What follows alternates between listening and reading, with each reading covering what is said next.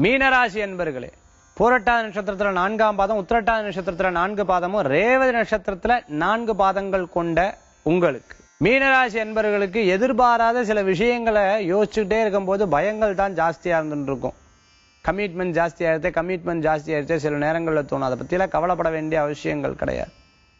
நீங்க என்னைக்கு நிறைய விஷயத்தை கவலைப்பட்டிருக்கீங்க இன்னைக்கு கவலை- கவலைப்படுறதுக்கு ஆனா சில விஷயங்களை மனசுல நினைச்சிட்டு யோசிச்சுட்டே இருக்கிறது மூலமா ஆரோக்கியம் தான் கட்டுறதுனால தெய்வ ஸ்மரண தெய்வ நாமங்களோட செயல்படும் பொழுது வெற்றிகள் நிச்சயம் உண்டு. இரண்டாம் இடத்துல இருக்கக்கூடிய சந்திரன் உங்களுக்கு தேவையான பணவரவுகளை கொண்டு வந்துரும். தேவையான தொழில் ரீதியா இருக்கக்கூடிய விஷயங்களை கொண்டு வந்துடும் அஷ்டமத்துல குரு இருக்கங்காட்டி கொஞ்சம் மன சோதனை சில நேரங்களில் சோதனையா இருக்கு. ஏற்கனவே அஷ்டம சனி இருந்திருக்கு இப்போ அஷ்டமத்துல குரு. இருப்பினும் விடாது தெய்வ வழிபாடு உங்களுக்கு என்னைக்குமே துணை இருக்கும். எதுக்காக கவலைப்படணும்? திருமண வயது எட்டியாச்சு திருமணம் ஆகலையேன்னு கவலைப்பட்டா. அஷ்டம குருவில் திருமணம் பண்ணும்போது சடங்குகள் வரும். அதனால ஒரு கொஞ்சம் ஆவணி மாதம் வரைக்கும் பொறுத்துண்டா நிச்சயமாக கைகூடக்கூடிய வாய்ப்புகள் நிறையா இருக்குது அதனால கவலைப்பட வேண்டிய அவசியங்கள் கிடையாது. தெய்வ நம்பிக்கை தெய்வ ஸ்மரணை இருக்கட்டும்.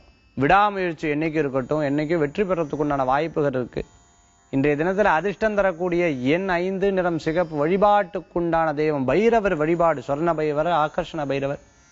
பைரவர் வழிபாடு துணை நிற்கக்கூடிய அற்புத வழிபாடாக அமைத்துக் கொடுக்கும்.